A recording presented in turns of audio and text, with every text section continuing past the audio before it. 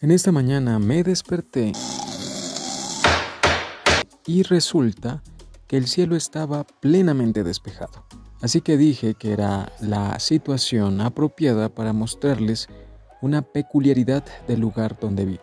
Y es que vivo rodeado de cinco volcanes. Así que antes de mostrárselos, vamos a saludar a nuestros amigos del hogar. Nuestro amigo Jan, nuestro amigo Pupi, Giuseppe, Maya. Y bueno, faltan otros, pero vamos a salir a mostrarles.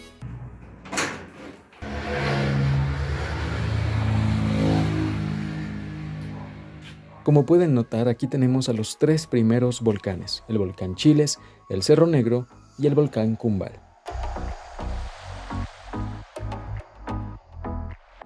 Estos volcanes son los más cercanos y bueno, cuando está despejado, la vista desde aquí es extremadamente bella. Algo peculiar es que el volcán Kumbal, que lo están viendo ahorita, mucho tiempo hacia atrás eh, estaba cubierto de nieve, se lo veía pues en su máximo esplendor, ¿no? Pero con el paso del tiempo ya no. Sin embargo, hay ciertas ocasiones donde amanece con nieve en la parte de arriba. Así que pues es bastante interesante también y hermoso observar cómo en ciertas ocasiones este volcán permanece nevado.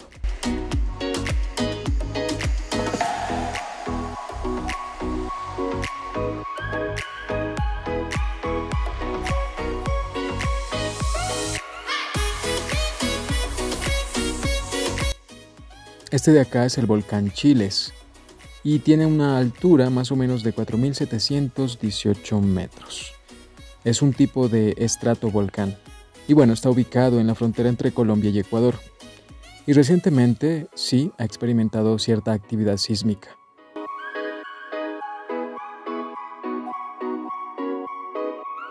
Y ese que está atrás del volcán Chiles es el volcán Cerro Negro de Mayasquer y tiene una altura de 4.200 metros.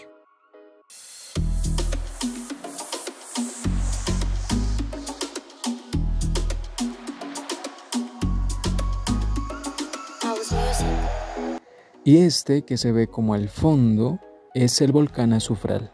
Tiene una altura aproximada de 4.070 metros. Y bueno, y en su cráter tiene una preciosa laguna de color verde esmeralda, que precisamente en mi canal hay un video cuando visité este hermoso sitio, así que después de ver este video, si quieres, pásate y lo chequeas.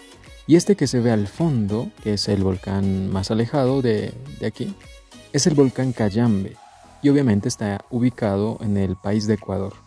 Tiene una altura aproximada de 5.790 metros. Y una característica peculiar de este volcán es que es el tercer pico más alto de todo Ecuador. Pues bien, cracks, dejen sus opiniones. ¿Es un privilegio vivir rodeado de tantos volcanes para observar su belleza o no? No siendo más por mi parte, los dejo y nos vemos en un próximo video.